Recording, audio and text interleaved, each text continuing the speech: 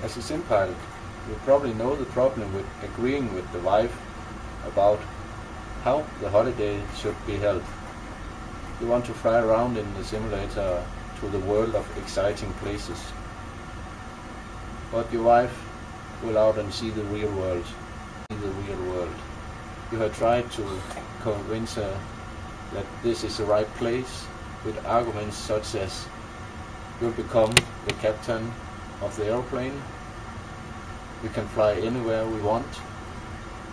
I can guarantee you that the weather will always be good. You will learn a lot new stuff about aviation and many other good arguments. But equally it helps. She will out on vacation. But holidays can be expensive and um, there must also be some money for building this simulator. So what should you do as a sim pilot? You can take the tent holiday, but it's a little primitive and wet weather is not good. There is also charter holidays.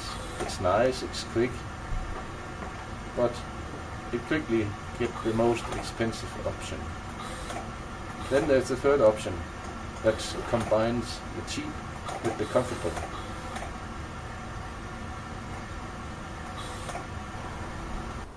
Here is the right solution for your summer vacation. A caravan giving you shelter for weather and provides you with a nice comfort. Let's go inside and have a look. Here we have a, a stove so we can make uh, some food. And here we have our sink, possible to clean dishes. Here Down we have the refrigerator with some cool cold soda. And down here you have the cozy corner where you can read and relax.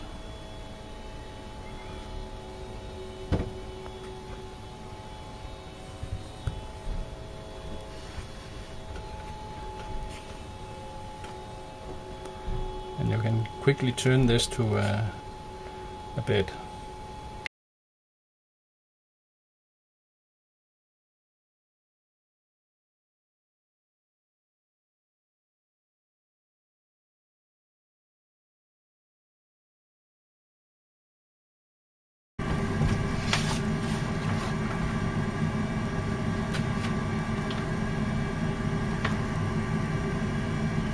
Then when the wife goes to bed and she falls to sleep, I sneak out of the bed and go into the other end of the caravan.